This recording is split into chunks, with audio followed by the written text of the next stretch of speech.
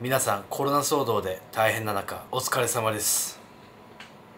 今僕は経営者の仕事で助成金や国への借り入れなど同時進行で手続きを進めているんですけれども僕のお世話になっている方で国のそういうお金回りの仕事をされている方がいましてその方が2日前僕に4月18日土曜日ですね国から依頼されてるお仕事が本当は5月いっぱいまでだったのが7月後半まで延長になるというニュースが出ていたのでおそらく国からの緊急事態宣言が5月6日までと一応なってますが収束もしくは今よりも多少落ち着くまで7月いっぱいまでは最低かかると国が判断しているのだと思います。と言われました。ということは自粛要請は7月いっぱいまでかかる可能性も考えておかないといけないということです。もちろん完全収束はワクチンが完成しないといけませんがだとしてもワクチン開発も最低来年までかかる見込みだと言われています。7月までこの自粛が続く可能性も出てきているし下手したら今年いっぱいも十分に考えられます。想像しただけでも震えが止まりません。僕は緊急事態宣言が解除されたからといって自粛ムードは続くと考えています。なぜならまた外に出れば出るほどコロナ感染は広がるからです。ということは経営者はその自粛ムードが続いたとしても生き抜いていける何かを見つけなければいけません。めちゃくちゃ怖いですがダーウィンの進化論的に言えば変化に適応できなければ生き抜くことはできません。